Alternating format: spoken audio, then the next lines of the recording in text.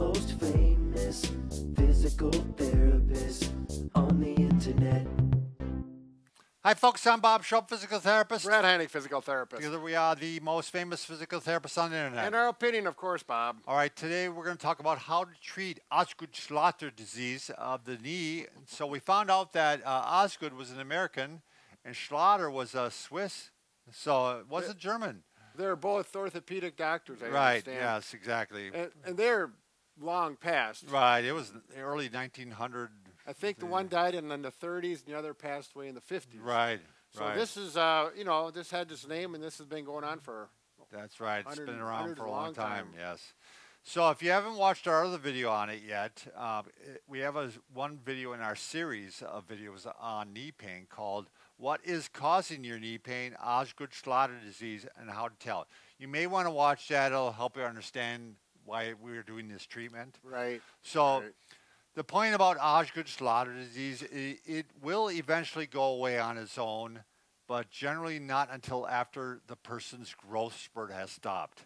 So if you know you're a, a teenage boy, it might be you might be 18, 19 before it stops, Sure. and if you're a girl, it might be 14, 15, you know, before it stops. Yeah, So.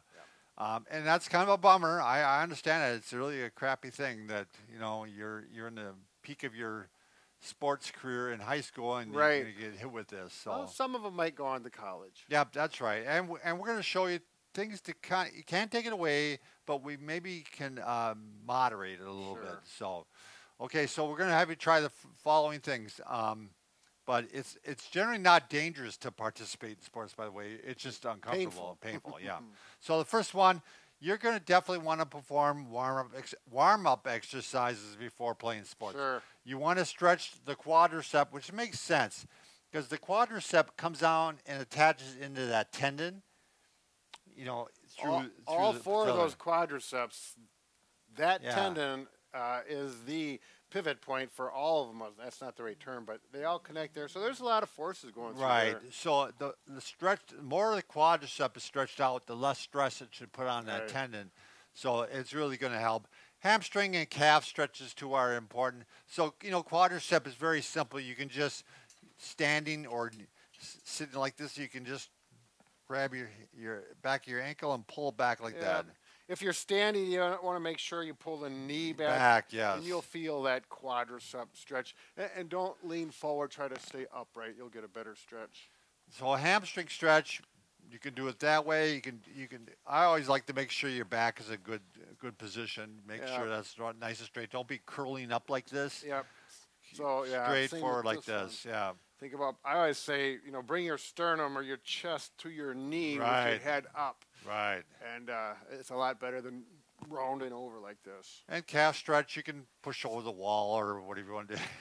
Well, typically people at this age, if they're in an activity, they know how to do these stretches. yeah, that's right. pretty typical stretches. Nothing fancy. So number two, um, this is advice I would give almost all student athletes, and that is avoid specialization in one sport. If you are going around, let's say you think you're going to be the next NBA basketball player, you're playing games all year round.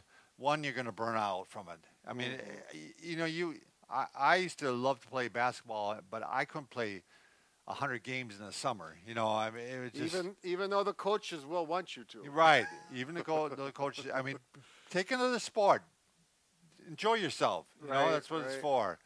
So, um, and, uh, number three, avoid high intensity workouts because that's just going to make it worse, Right. and you're not going to gain anything from the, those high intensity workouts. It's going to set you back. Right. So, You know, and, and off season, if you want to train in, you know, running, you know, to just stay in shape might be an option, but biking is going to be better for it because you don't have that impact. And if if you do bike or maybe you want to get into that, and that's going to be great for cross yeah, if, training. if you find uh, a sport that it doesn't irritate it as much, Mhm. stick with that. right. Uh, number four, I actually think this is worthwhile, Brad, is to actually do cross fiber massage to the Mhm. tendon. Now you you kind of kind of marked on your tendon, so we could you can actually see Yeah. it. That's So- that's the bump where the tendon attaches into that black part. Right. So you go right above that, and see right there. I can That's the feel, patella Yep, tendon. I- that's this right here. if I tighten up my quadriceps, then that tendon is very distinctly palpable, or you can feel it. And then you're going to go across that tendon. Aggressively. Yep, you're pushing in and going back and forth and back and forth. Your thumb's going to get tired, but you know if it gets sore and sore, and after like 20, 30 seconds, it just feels like it's irritating it and getting worse. It, it's not ready for it, but you know it's going to be good as after about 20, 30 seconds it starts to feel better or kind of numbish. Then you're going to continue to massage this until your thumb gets sore, a couple, three minutes if you can go that long, um, and then give it a break and then go back after it again later. To me, it's a great one to do just, you know, a couple minutes before you play a sport. Mm-hmm. Um, it can really stretch out the tendon somewhat and take some of the stress off the bone. So, um, Number five, use shock absorber insoles in Sure. both shoe, shoes, just a little bit less pounding on Yeah, the knee. Take some stress Yeah. off that. Um, using the heating pad, uh, we just had uh, on our podcast a guy who's uh, expert on stretching, Oh, and he was saying Mhm. this is one thing that's not used enough is heating pad prior to an activity, Right. really heating up that muscles. Yep. So um, using the heating pad for like 15 minutes. And you could do that before you do the stretching Yep. as well as afterwards. But Yeah. he, I know he mentioned before the stretching was a good way to get things loosened up. And uh, you know, it depends how you feel about cold packs. You might do a cold pack after to uh, actually calm down the inflammation. right, But right. uh, some people don't believe in cold packs anymore. So Yeah, it, I think in high school level, it's still the, the trainers still have a lot of cold packs. Oh yeah, yeah, that's the number one thing in their arsenal, I think. Yep. Um, uh, Brad and I talked about this one, and yeah, there's there's some sports where this would be uh, really helpful, especially volleyball, where you have a pad that goes over the bump. Where the potential for impact on the floor, especially a hard floor, you know, it's going to be very. Uh, even but- football, Yeah. Right. right. wrestling. Yeah. right? Yep. Yep. But you know, all those sports, uh, they a lot of people wear them even if they don't Yeah, have right, oxygen. So, Yeah. exactly. Make sure you're, you know. So you- you're not going to be sticking out if you put a knee Yeah, good on. point. Yeah. um, you can try, and this is going to want to check with your physician, physician or your doctor. Um, you can try an anti-inflammatory medicine like ibuprofen, Advil, Motrin, Right, and it'll right. just cal- help calm the inflammation down. So You got to make sure you don't you take that appropriately and not overdo it because that can be harmful to your stomach and Right. other things like that. So you know, especially at that age, you think, well, if three are good, maybe if I take six. yeah, exactly. Well, maybe that's the way I was anyway. Yeah. well, that uh, explains a lot. But uh, anyway, y- you want to always make sure you are taking it with food. I Right, mean, yeah. Um, you know, eat a piece of toast, then eat, uh, take the ibuprofen. Yep. Some So- milk in there. There's, You Yeah. know, Chris always says make sure at least some milk for that. Sure. ibuprofen. Okay, last one we're going to say if you strengthen your quadricep muscle, uh, that often helps. I'm going to show you a real simple way to do that. Just got a pillow here. This is the most simple way to strengthen the quad. It's isometric, Yeah. so it's not much pressure on the tendon. You probably don't want to be aggressive. That's why this is a good option. You- Yeah. You're not going to go do squats and things like that with a lot of weight. So I folded up a pillow in half, and I'm just pushing it down Yep. towards the bed, holding it for 10 seconds, and then relax. Sure. And I could do, you know, lots of sets. You can be watching TV while you're doing these Yep. and strengthen those quads. Because one of the things that happens when you have pain like this, your muscles react by not wanting to fire, and, and they become weak. Right. And so you want to keep that muscle as strong as possible, Right.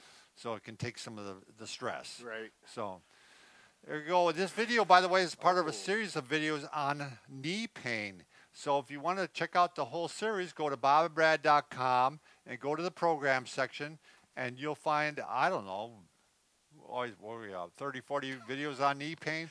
So check out the ones that pertain We're to too you. old to keep track. Yeah. check out the ones that pertain to you. You don't have to watch each one. And what else, Brad? Well, along a big bonus is there's a PDF button. Click on that. You'll get a printout with a review and exercises of the video. It's a wonderful deal. Uh, we don't even charge you a dime, not even your email. Yeah, we don't ask for your email. Oh, We- yeah, that's that's not we don't charge. we might ask you for your credit card number. No, just joking. We would never ask for your credit card number. So, all Very right. good. Good luck with those knees. Yeah, knees. take care.